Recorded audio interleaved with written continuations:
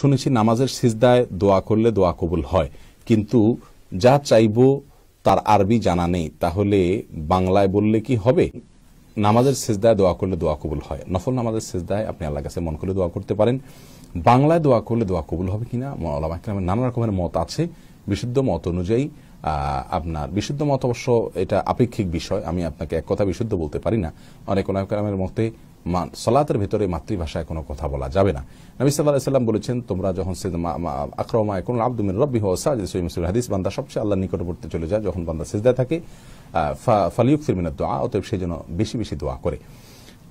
অতএব আমরা উচিত হবে সিজদা দোয়া করা। রসুল দোয়া করতে বলছেন। এখানে দোয়াটা কিন্তু ব্যাপক অর্থে। ব্যাপক অর্থে দোয়া হলে সবাই যার যার মাতৃভাষায় দোয়া করার সুযোগ থাকে। সেই হাদিসের অনুযায়ী আপনি মাতৃভাষায় দোয়া করতে পারবেন ইনশাআল্লাহ বিদিনিল্লাহ যদিও এখানে দ্বিমত আছে।